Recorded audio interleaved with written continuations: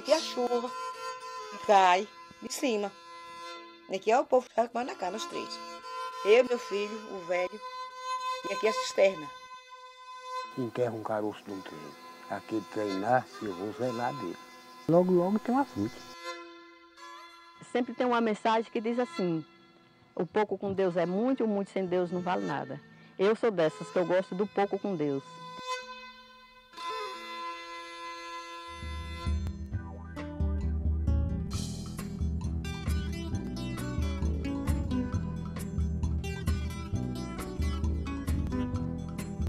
Essa mangueira ela pinga, não faz não tá.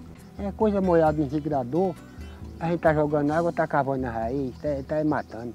E agora não, agora é bacana. Na, no gotejo é bom demais.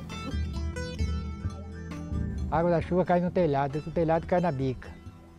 A bica passa por filtro aqui, esse filtro vai pegar, tirar das impurezas, ter, é, folha, qualquer impureza.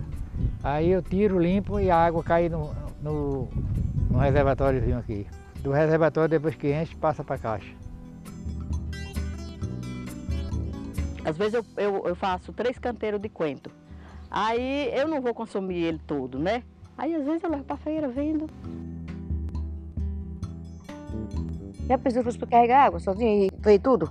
Aí eu, eu não dava conta mais. Mudou, graças a Deus. Isso aí eu tô livre, né? Tá carregando noite. Ah, melhorou muito, melhorou muito. Água descoberta com muita impureza dentro. O cheiro também era desagradável. Agora com essa aí não, essa melhorou muito. Olha esses tomatinhos. A seca acabou tudo. Aí eu saí catando uns pedaços mudinhos de tomatinho e plantando. E fui zelando, nós já tem tomatinho ali e ali.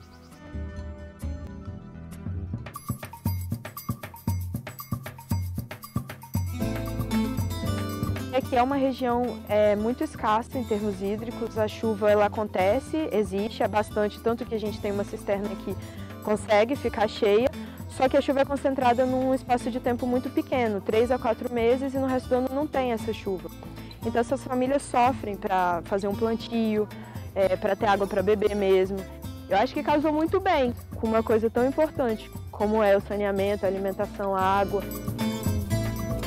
A água é vida, né? É toda água é vida.